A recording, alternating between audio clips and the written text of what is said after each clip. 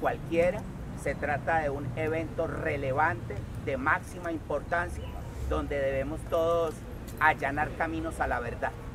Queremos que Freddy Rincón se recupere, queremos que Freddy Rincón esté nuevamente con sus acertadas eh, informaciones para el mundo del fútbol.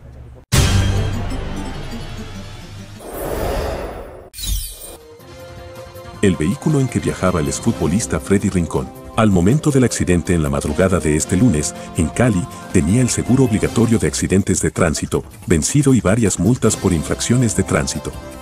Se trata de una camioneta Ford de placas UGR 410, propiedad de Tomás Humberto Díaz Valencia, la cual quedó en manos de la Fiscalía General de la Nación como parte de la investigación del accidente.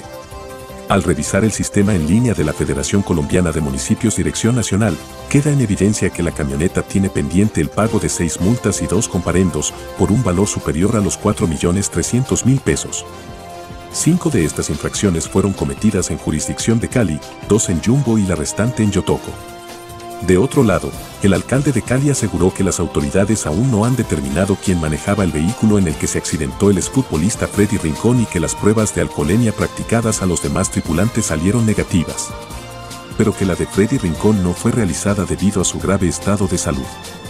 Además, mencionó que, previo a la colisión del vehículo con un bus alimentador del MIO, que no llevaba pasajeros, el conductor de la camioneta en la que iba Freddy Rincón cometió la imprudencia de cruzar la intersección de la calle 5 con carrera 34 con el semáforo en rojo. El conductor del sistema MIO, de 28 años de edad, resultó lesionado y fue trasladado a un centro asistencial con una fractura y varias contusiones. Rincón, en estado muy crítico. Luego de ser intervenido quirúrgicamente, el estado médico del exfutbolista Freddy Rincón continúa siendo muy crítico y reservado, según explicó en la tarde de este lunes el doctor Laureano Quintero, director médico de la clínica Imbanaco.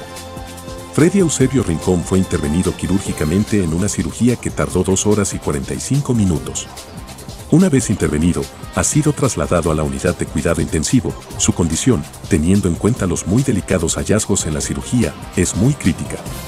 Su pronóstico es reservado. Es una condición crítica para la cual estamos desplegando toda la atención que requiera. Debe ser claro para todos ustedes que su pronóstico es muy reservado, señaló el médico Quintero.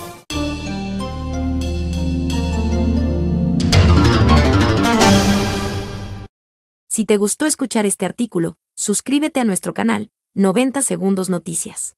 Recuerda, activar la campanita, darle compartir y dejarnos tu comentario. Gracias.